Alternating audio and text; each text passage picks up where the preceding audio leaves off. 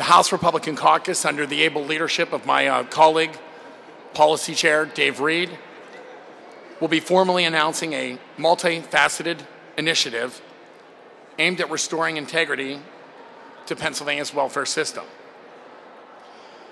The House Republican Policy Committee has held multiple public hearings on the topic of welfare reform and the areas of rooting out welfare fraud and abuse. We must say we do believe that there is and needs to be significant change as, as to how we go forward with respect to welfare spending and welfare accountability in this state. But the Auditor General testified in the appropriations hearings that he felt that he could identify today 400 million in savings today that you could reduce welfare spending as a department based on rooting out fraud, waste, and abuse.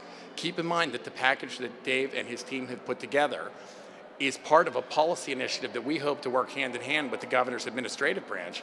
And we think that you can see some short term savings today, and that over time you're going to see even longer, larger term savings.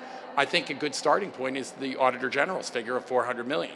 But this integrity can start really um, from the get go because you're going to see some changes based on activity, knowing that we're going to be able to get this legislation in place, and you have an administration that's actually going to start to root this out. You need an inspector general's office that's actually going to enforce this, so you're going to see that this time.